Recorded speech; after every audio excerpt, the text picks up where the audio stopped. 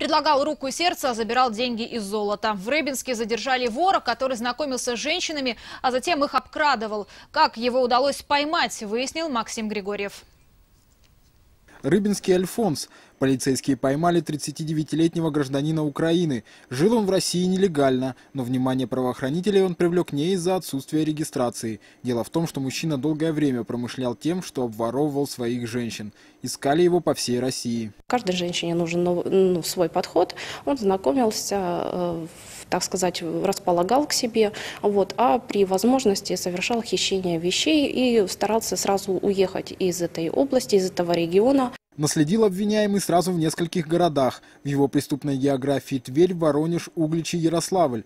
В Рыбинск гастролер приехал в начале июня. На сайте знакомств выбрал себе новую жертву. За пару свиданий обольстил ее, и ничего не подозревающая женщина пригласила его к себе домой. Когда она отвлеклась, мужчина вытащил из ее дома вещей на 86 тысяч рублей. Силами уголовного розыска, что человек был задержан и не успел еще уехать. Если бы это случилось, в последующем его было бы крайне трудно найти.